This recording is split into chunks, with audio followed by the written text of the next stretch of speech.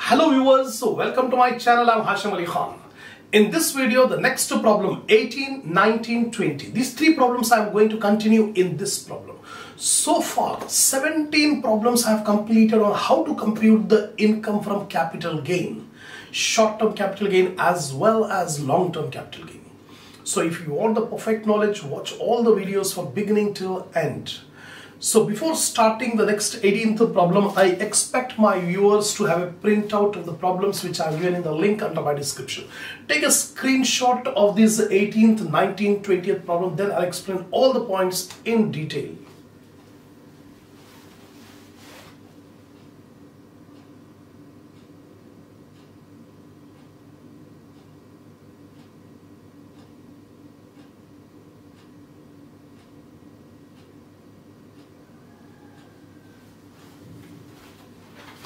Now see the 18th one. Mr. Mohan Raju of 84 years age is owning a building which is used for running his business.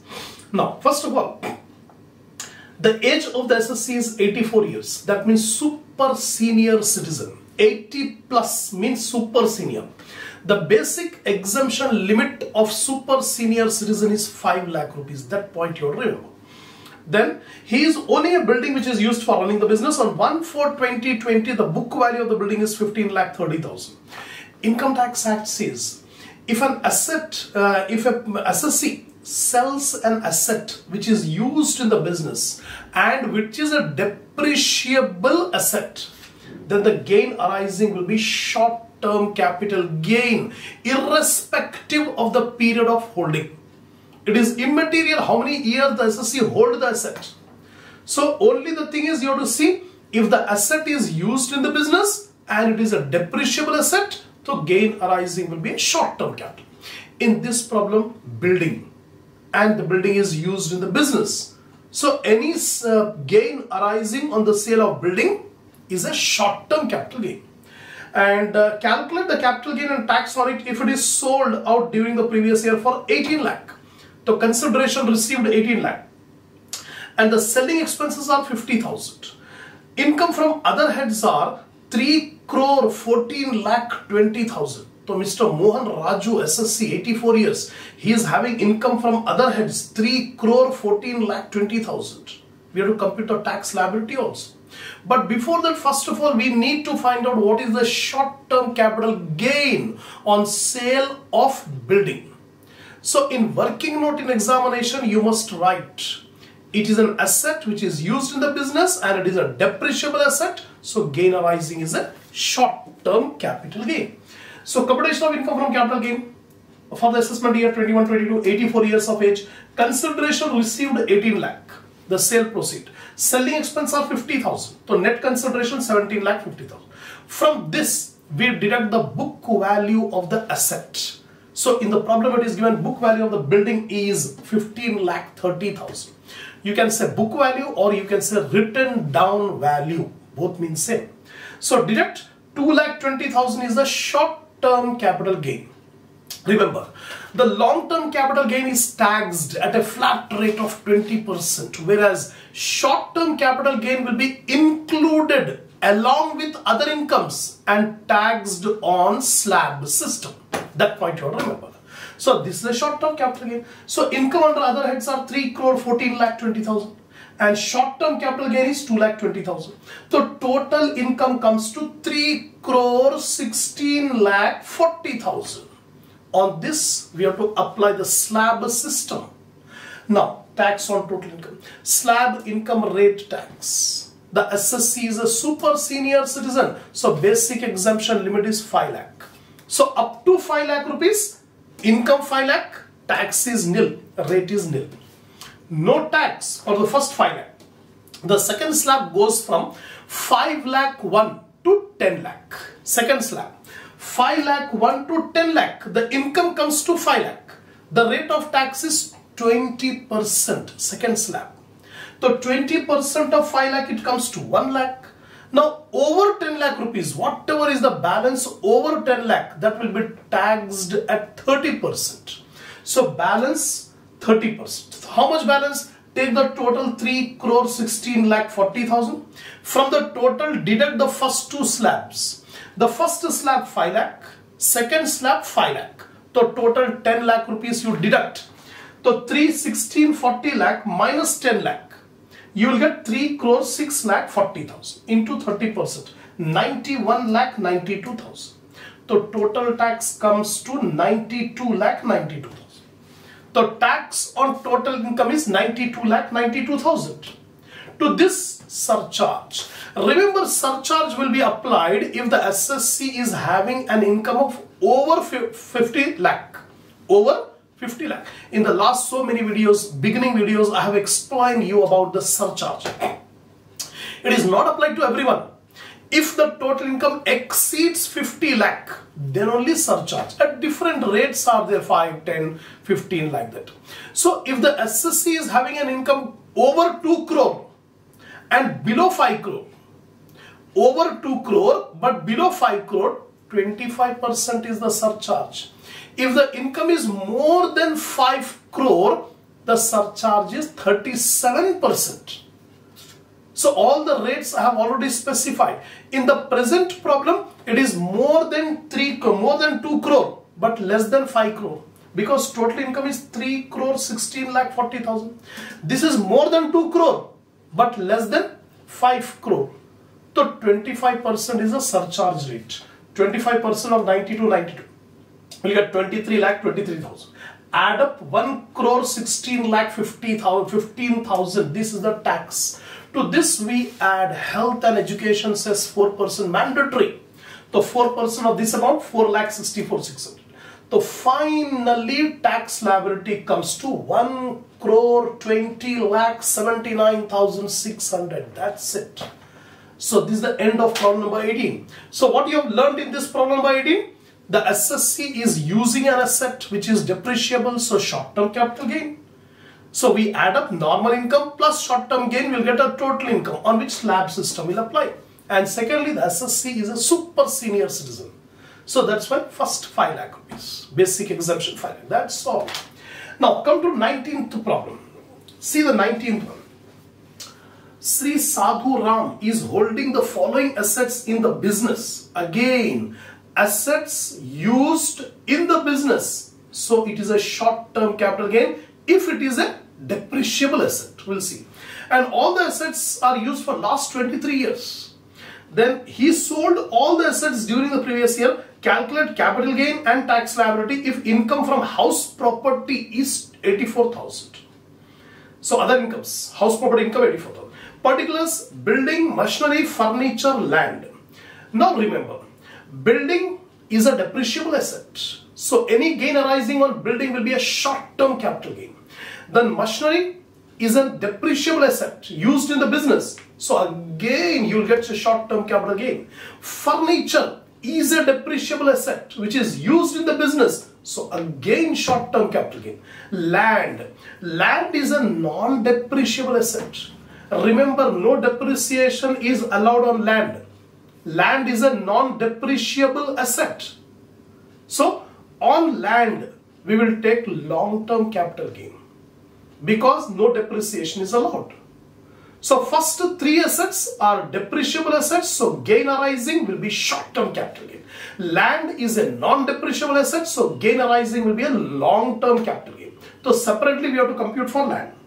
Then book value is given, selling price is given, selling expenses. Cost inflation index for all the assets in the year of purchase was 100. The purchase year index 100 and sale year index is 301. It is not given in the problem but for your assessment year, remember.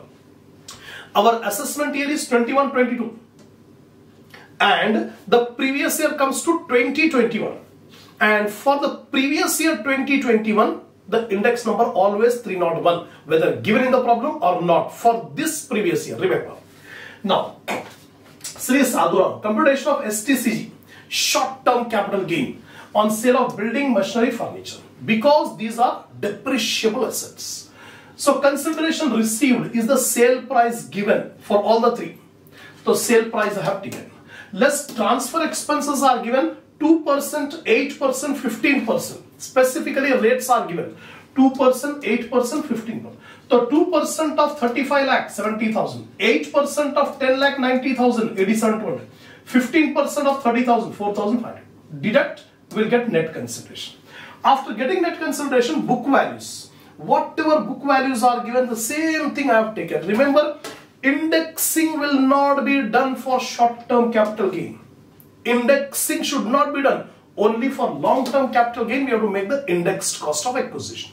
Here, book values are given 23 lakh 15,000, then 11 lakh 5,000, 22,000. Whatever is given in the problem, same book value I have taken.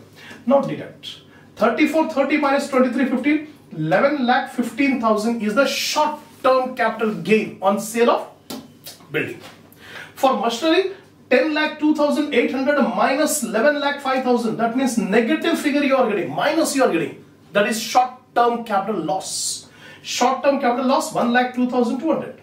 Then 25,500 minus 22,000. 3,500 is the positive value, short term capital gain. So two assets we are having short term capital gain and one asset we are having short term capital loss. So machinery we are having loss. The short term capital gain on building 11 lakh 15,000. Short term capital gain on furniture 3,500. Total 11 lakh 18,500. Less short term capital loss on machinery 1 lakh 2,200. Deduct.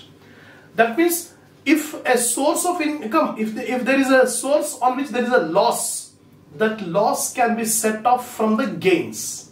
So from these gains, we are deducting the loss. So ultimately short-term capital gain is 10 lakh 16,300. Now remember short-term capital gain is taxed at slab system along with other incomes. So here uh, first of all, computation of long-term capital gain on sale of land. Land is a non-depreciable asset. So long-term capital gain. Consideration received 8 lakh 51,000 it is given sale price. Minus transfer expenses are 1%. So 1% of 8 lakh 51,8510 deduct net consideration less indexed cost of acquisition because LTCG. So what is the book value here? 1 lakh 20,000. So 1 lakh 20,000 into 301 by 100. Current previous year 3 not. Purchase year 100. So 3 lakh 61 200. Deduct. You will get 4 lakh 81,290. This is the LTCG. And this LTCG is taxed at a flat rate of 20% separately. The normal income and special income. This is called special income because flat rate of tax 20%. And this short-term capital gain is a normal income. So slab system. So here income from house property 84,000 given in the last uh, first paragraph. Income from house property 84,000. Short-term capital gain 10 lakh 16,300. So total 11 lakh 300 is the normal income on which slab system will apply. Special income LTCG 4 lakh 81 290. For tax on normal income up to 2 lakh 50,000. The basic exemption limit 2 lakh 50,000 for non-senior citizen. If nothing is given in the problem, we assume the assessee is a non-senior citizen below 60 years of age. So up to 2 lakh 50,000. Income is 2 lakh 50,000 nil, no tax. From 2 lakh 50,000 1 to 5 lakh, 2 lakh 50,000 5%, 12,500.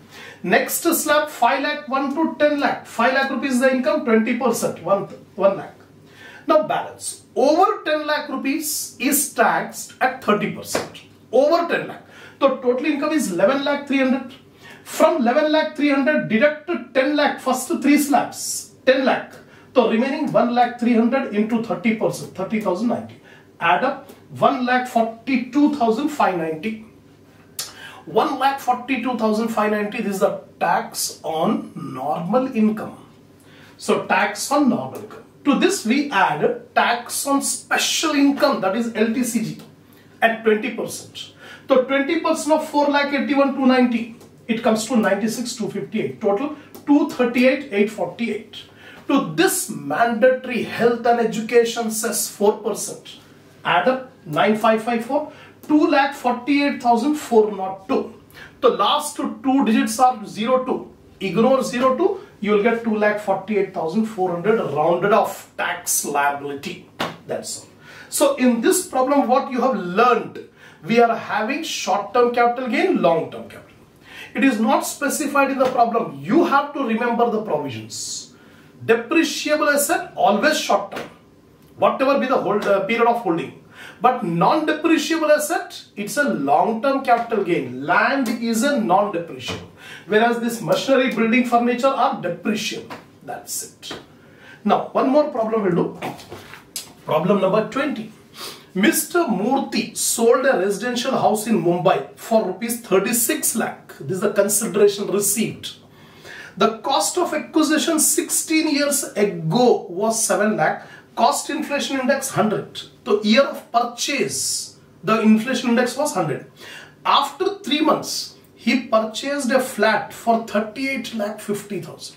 That means this is the first time where an assessee sells one residential house and within the stipulated period purchased another residential house. The exemption will be given under section 54. The exemption under section 54 will be given if the assessee sells one residential house and purchases another residential house within the stipulated period. Stipulated period is 2 years. So within the stipulated period, if he purchased another residential house, exemption will be allowed. So selling expenses are 1.5%. Calculate income from capital gain. It's a very easy problem, small problem, but only the new point is exemption will be given. So far in the earlier problems, no exemption were given. Now, Mr. Murthy computation of LTCG on house for the assessment year. Consideration received 36 lakh given in the problem. The house was sold. Transfer expenses 1.5%, calculate 54,000, deduct net consideration. Indexed cost of acquisition. The building was purchased for 7 lakh rupees 16 years ago. So 7 lakh into 301. Current previous year index is 301 divided by 100. 21 lakh 7000. Deduct will get capital gain 14 lakh 39,000. Now less exemption under section 54. Now in working note, you should write on the assessee sold one residential house and within the stipulated period purchased another residential house so exemption is allowed under section 54 that sentence you're right and the exemption is least of the following two amounts these are the law these are the provisions i'm explaining whatever i'm explaining is the provision law given in the income tax act 1961 so List of the following two. First one, capital gain amount. How much is the capital gain amount? 14 lakh 39,000. Secondly, the cost of the new house. What is the cost of the new house? The cost of the new house given in the problem is 38 lakh 50,000. So whichever is less will be allowed as exemption. So less is 14 lakh 39,000. So 14 lakh 39,000 is the exemption allowed under section 54. So exemption 54, 14 lakh 39. Deduct the LTCG will be nil. Long term capital gain is nil. Nothing is taxable. That's it. So this is the 20th problem. So totally 20 problems I have completed on computing the income from capital gain. If you are continuously watching, you might have got a good command on how to compute the income from capital gain. Inshallah, the next problem will continue in the next video.